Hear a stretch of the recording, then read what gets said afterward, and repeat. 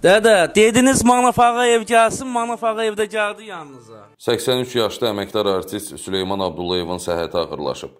Qalan News xəbər verir ki, uzun müddətli evdə müalicə olunan sənətçi artıq xəstəxanaya yerləşdiriləcək. Yerli sənət aləmindəki bir çox məşhur onu bağır günlərində tək qoymayıblar. Aparıcı Hacı Nuran Hüseynov, xalq artistləri Ağaddaş Ağayev, Mənsum İbrahimov, müğənni Manaf Ağayev Dədə Süleymanı ziyarət ediblər.